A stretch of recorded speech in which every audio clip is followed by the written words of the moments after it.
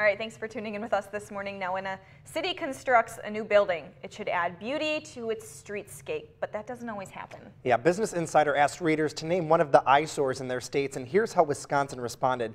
Van Vleck Hall at UW-Madison. Now, the article didn't go into detail as to why Wisconsinites dislike the building, but we do know it's where most, most of the math classes are, which should explain it. And check out this beauty, the Longaberger headquarters in Newark, Ohio.